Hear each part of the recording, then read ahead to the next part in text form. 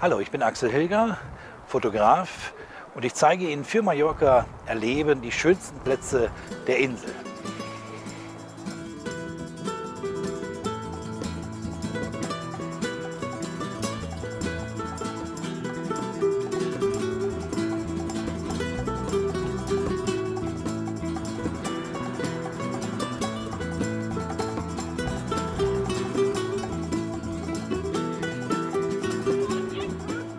Am 11. Januar 1963 erschütterten zwei Explosionen die Stadt.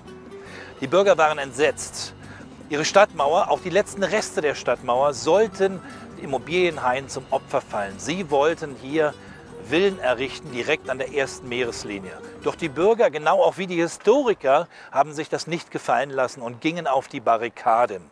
Sie haben es nicht zugelassen. Madrid musste den Antrag zurückziehen und wir haben heute die Früchte dieses zivilen Aufstandes, denn wir können heute hier natürlich diese Stadtmauer besichtigen.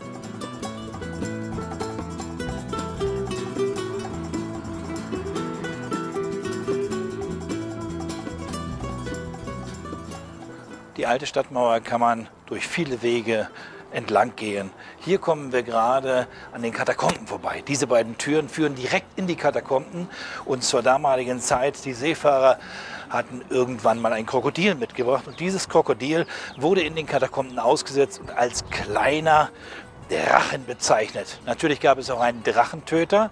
Er hat sich dem Drachen angenommen, hat ihn getötet und seither war die Stadt befreit von dem Krokodil.